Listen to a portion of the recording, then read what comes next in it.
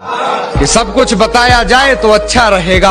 अब कुछ ना छुपाया जाए तो अच्छा रहेगा। और अदालत सजी है तेरे मोहल्ले में तो कोई गिला नहीं। गवाह मेरे मोहल्ले से भी बुलाए जाए तो